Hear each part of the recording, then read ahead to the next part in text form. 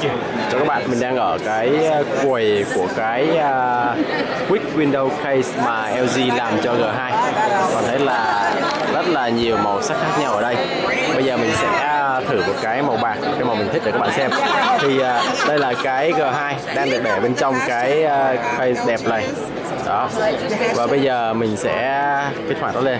Tương tự như uh, chức năng G2 mình có thể nhấn hai cái vào cái màn hình để cho nó cho cái nó tỉnh dậy và chúng ta có thể uh, cho nó xem cái này là chơi nhạc cái này là đồng hồ cái này là thời tiết và chúng ta có thể uh, ở đồng hồ chúng ta có thể trượt để, để qua rất là nhiều cái đồng hồ khác nhau đó, những cái màu sắc khác nhau những cái phim đồng hồ khác nhau đó.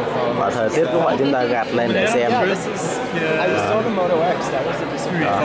và cái màn hình nó được thiết kế để khi chúng ta mở cái nắp ra, thì cái máy được sẵn sàng chúng ta hoạt động. Và chúng ta đóng lại thì chỉ có cái cửa sổ đó được thể hiện thôi. Rất là hay. Nó được gắn vào cái nắp sau lưng của cái máy và chúng ta mở ra như một cái dạng là flip cover. Ở đây chúng ta có rất là nhiều màu sắc khác nhau. Đây chúng ta có màu vàng, ở đây có màu xanh đây có màu à, xám tối và có cả màu hồng nữa. Và bây giờ là cách mà chúng ta sử dụng nó.